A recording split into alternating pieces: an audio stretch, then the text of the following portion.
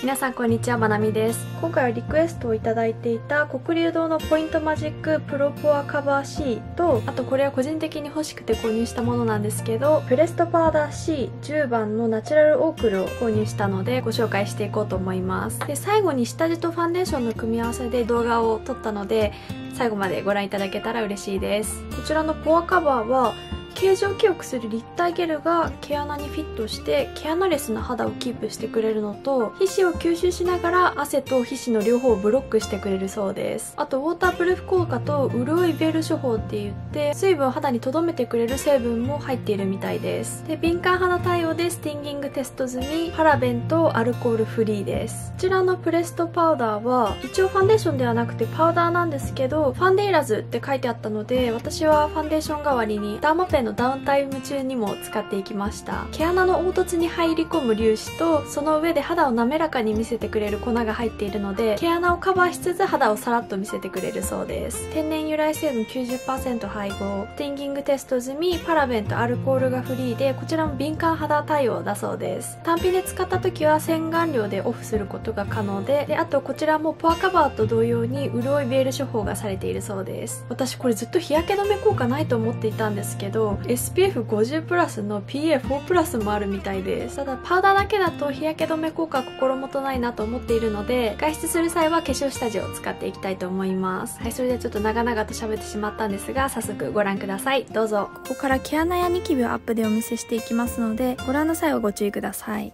はいそれでは塗っていこうと思います。室内にいる日の動画を撮っていってで外に出る予定はないので化粧下地は塗らずにいきたいと思います。なのでまずはポアカバー塗っていきますこの毛穴下地は全顔塗れるそうなんですが私は頬と鼻の毛穴だけに塗っていきました。こちら側だけ先に塗っていきます。この毛穴下地は白色が多めの肌色っていう感じなんですけど肌の赤みを思ったより抑えてくれる感じがしました。はい。こちら側だけ塗ったんですがサラサラになってます。毛穴が光に当たって目立つっていうことがないので毛穴が少しぼやけたような感じになりました。はいということで反対も塗っていきます。個人的には三村の毛穴下地と似ているかなと思います。で今回の動画では毛穴下地を塗り終わった後にティッシュオフするのを忘れているんですがファンデーションがよれるのを防止するためにもティッシュオフはした方がいいかなと思います。はいそしたらこちらの黒竜ド PM プレストパウダー C10 番ナチュラルオークルのフェイスパウダーを塗っていきます。で中身はもうパウダーなんですけど色もついてるのでファンデーション代わりに使えるっていう感じです。こちらの左側ですね。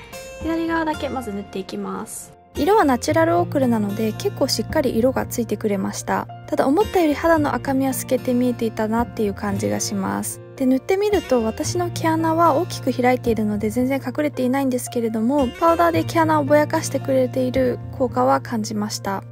でこの商品厳密にはファンデーションではないんですが今回はファンデーションって呼ばせていただこうと思います。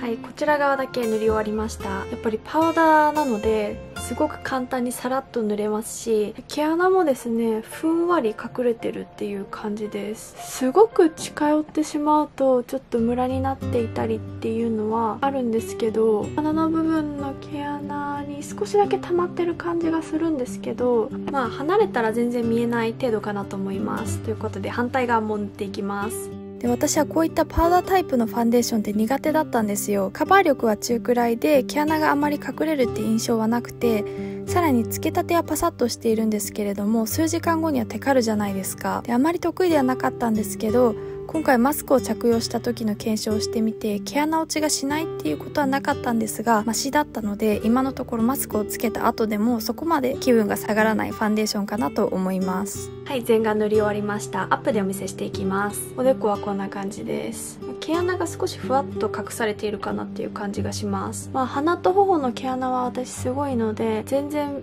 見えてはいるんですけどでもやっぱり何もつけていない時と比べたらふわっとぼやかしてくれているような感じはします。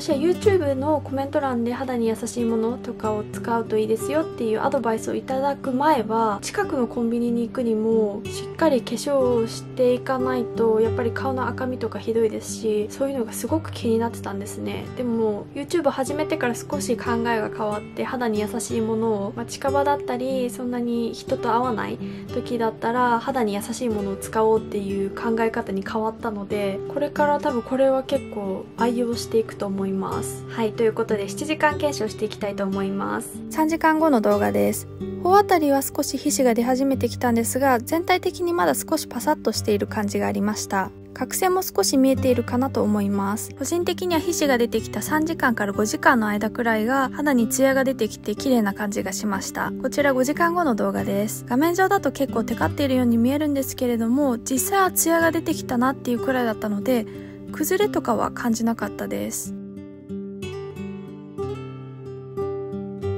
こちら7時間後の動画です。少し鼻と頬あたりがよれてきているなっていう感じはしたんですが、そこまで気にならなかったです。ティッシュオフした動画が撮れていなかったんですけど、少しティッシュで押さえただけでも肌からツヤがなくなってマットになったので面白かったです。それでは4時間ほどマスクをつけていた日の動画をご覧ください。同じように毛穴下地を塗ってから化粧下地を塗っていきます。この日は毛穴下地をおでこにも塗ってみました。キスマットシフォン UV ホワイトニングベース N02 番ナチュラル SPF26PA2 プラスを使いました。この持っている中で唯一奇抜な色のパジャマを着ている理由なんですけれどもリキッドの化粧下地を塗ったすぐ後にパウダーファンデーションを塗るとよれると思ったので起きて洗顔をしてすぐ化粧下地まで塗ってから朝ごはんを食べて着替えてファンデーションを塗りましたやはり時間を置いてからファンデーションを塗っているのでマスクを着用しなかった日よりも鼻と頬は綺麗に仕上がった感じがします。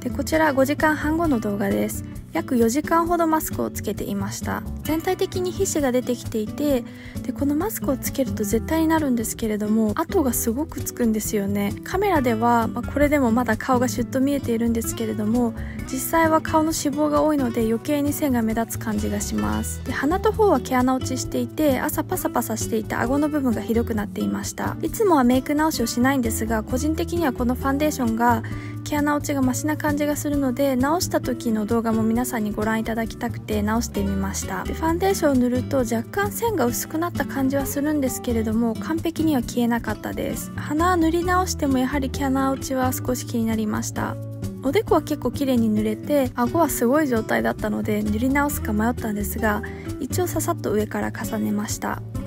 この動画をご覧いただくと見えるんですけどマスクをすると角栓が目立ってくるんですよね。来月ハイドラピーリングをしていただける毛穴撲滅コースを予約したので今から早く行きたくてもう仕方がないです。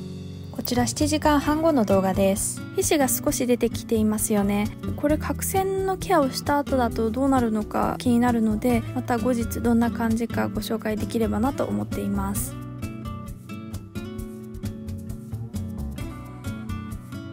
はい、それでは毛穴下地とディオールのファンデーションの組み合わせで塗った時の動画をご覧ください。今考えたらなんでカバー力の高いファンデーションを使ってしまったんだろうっていう感じがするんですが最後までご覧いただけたら嬉しいです。それではこの下地とディオールのファンデーションの組み合わせで塗っていこうと思います。一応ディオールのファンデーションは筆の方が相性がいいので持ってきたんですけど下地と合わせるとなるとあまりいじらない方がいいじゃないですか。スポンジを持ってきたので半分ずつ使ってみようと思います。ということでここアップにしてお見せしていきます。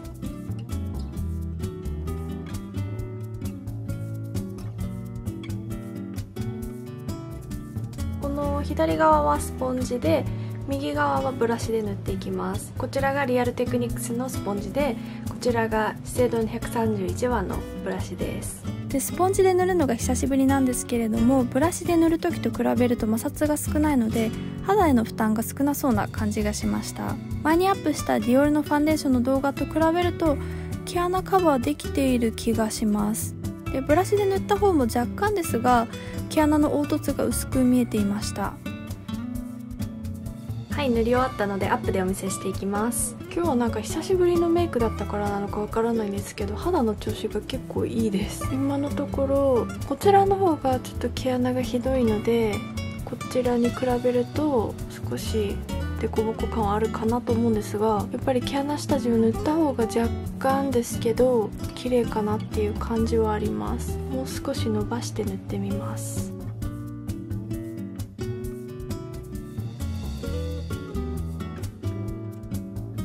はり小鼻ら辺はスポンジではなくてブラシの方が綺麗に仕上がっているかなとは思います。塗らないよりは綺麗ですね。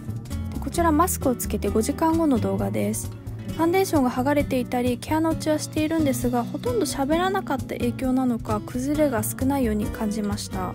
またマスクを着用して喋らないといけない時にこの組み合わせで使ってみてどうなったか Twitter とかになってしまうかなとは思うんですがご報告できればなと思いますこの毛穴下地とファンデーションの長所はですねどちらも敏感肌対応で肌に優しいのとクレンジングで落ちやすいので肌負担が少ないです。さらっと簡単にファンデーションが塗れて毛穴下地を使うとマスクをつけた時に若干ですが毛穴落ちしにくい感じがしたところも良かったです。短所は私の場合はそこまで遠出しない時とか人に会わない時に使おうと思っているので全然問題はないんですが毛穴と赤みのカバー力が低いこととあと猫みたいなマスクの線がついてしまってパウダーでは直しづらいところがあまり好きではないかなと思います。ただ毛穴落ちがすごく目立つっていうことがないので総合的に見るとメイク直しはしやすい方かなと思いました。個人的にはマスクを着用する時でそこまで大切な用事がない時はこのファンデーションを使おうと思うほど気に入ったのでこれからたくさん使っていきたいと思っていますはい、それではここまでご覧くださりありがとうございました。ぜひチャンネル登録、高評価、コメントを残していただけると嬉しいです。